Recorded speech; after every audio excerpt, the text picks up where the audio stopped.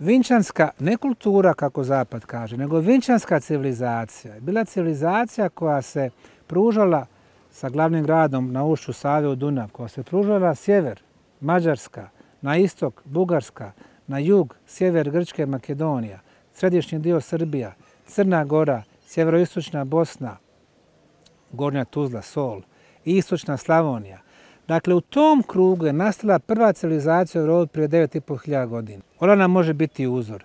Ako nemate utvrda, ako nemate stajaćih vojski, dakle ne bojite se da će vas neko osvojiti, drugi set vrijednosti vlada vašim društvom. Koliko ste sposobni, organizovani, dinamični, čestiti, spretni, vješti. Umjesto toga, sa istoka kada vladaju metalurgijom, počnu da komadaju naš hum, sa zapada i sa sjevera također. I taj se proces odvija i danas.